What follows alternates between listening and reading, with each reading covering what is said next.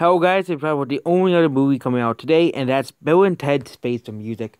Bill and Ted Face the Music is seeing good reviews from both critics and audiences alike, but the real question is when will Keanu Reeves' amazingness appeal on Blu-ray? Of course, this movie will probably make a ton of money just because Keanu Reeves is in it alone. And it's a bigger movie, not a small movie such as Siberia or Replicas, which was barely advertised at all.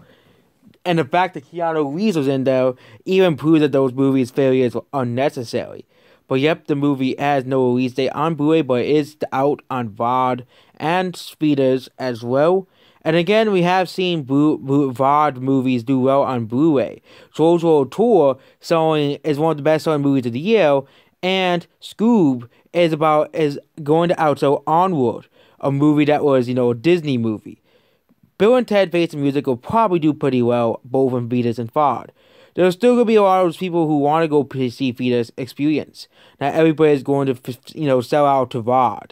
It isn't like that. And after the success of the unhi- the movie Unhinged, even though that's a smaller movie, that still that movie was still a pretty successful first week for a movie of that caliber. A movie like that will probably open around the same. You know, probably will open around 10 million and end up grossing 20 million because it was the first big movie.